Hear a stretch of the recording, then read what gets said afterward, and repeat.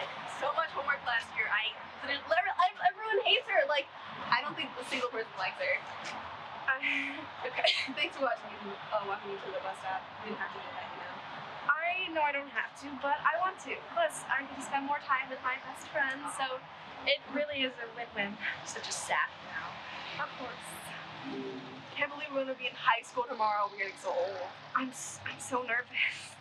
Don't be. You are amazing, and you're gonna be the most informed one there with all those dumb movies you're obsessed with. Hey, those are not dumb. They are John Hughes, and I know that you love them just as much as I do. Hmm, keep telling yourself that, sweetheart. Um, my bus is here. Goodbye. Bye. You guys make a cute couple. Who makes a cute couple?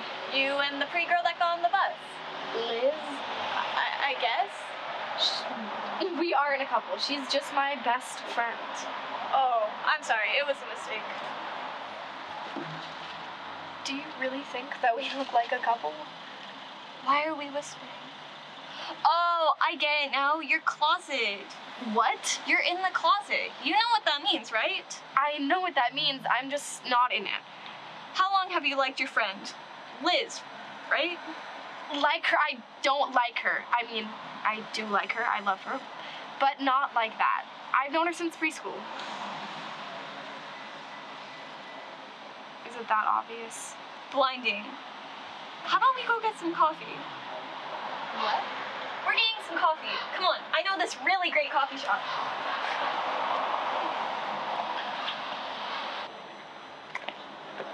But I don't even know your name. Emma. Emma Green. And you are? Rachel. Well, Rachel, would you like to go get some coffee with me? Sure, I have nothing better to do. That's the spirit. Let's go.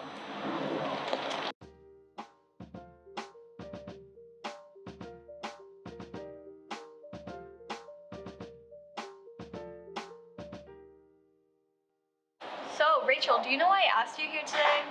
No, you never told me. Well, I took you here so that you can talk to someone and be completely honest with them. And I'll be completely honest with you.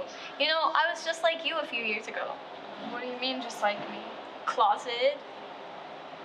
Emma, Emma Green. Yeah, that's me. Don't wear my name out. Oh my god, you were the eighth grader that came out as lesbian to the whole school over the loudspeaker, weren't you? Oh, sweet. Yeah, I'm famous. Yeah, that was me, but I'm not in eighth grade anymore. I'm a sophomore. Oh, but enough about me. Let's talk about you. Here's your drinks. Thank, Thank you. you. If you need anything else. Thank you. So, how long have you known you weren't straight? I don't know. There was not really just one moment. I guess I always felt a little different than the other girls. I think they saw that I was different too.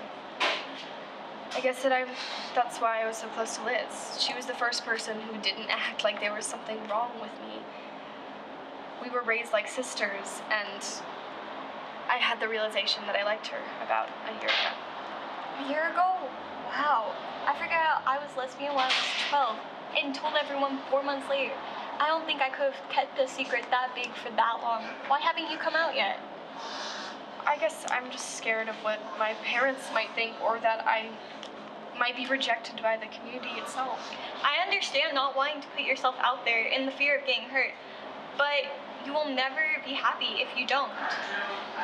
I am happy. Truly happy. Coming out is one of the hardest things you'll ever have to do in your life. It'll feel like you're naked.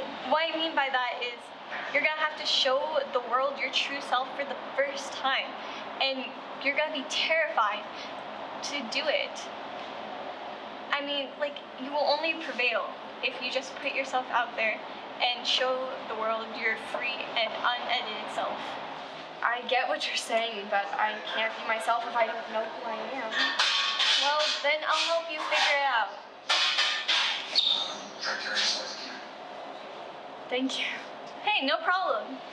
You should join my Skype group. We have a call in about half an hour if you want to get on with me. What do you do on this call? Oh, so it's different people from the LGBTQ community, and we are different ages, genders, sexualities, and we basically just talk to each other and support each other. We tell each other everything, basically. Uh, okay. Oh, can we go at your house for the call? We don't have time to get back to mine. Sure. Okay. Cool. Let's go. Emma, what are you doing in there? I'm looking for you. Duh. All right. All logged in. Okay, great. So, before we get on the call, I want to introduce you to everyone's pronouns. There's Ren. He uses he, him pronouns, and he is transgender. And then there's Theo, my best friend, and he is gay, so he also uses he, him pronouns. And then there's Riles, Riley. They use they, them pronouns because they are non binary. Got it? Almost. What's non binary again? Riley is not male or female. They lay outside the gender binary, therefore non binary. Got it. This is gonna have to take some getting used to. Don't worry about it. Think of me as your lesbian spirit guide. Oh, look, the call is starting. Hey everyone, this is Rachel. Rachel, this is everyone.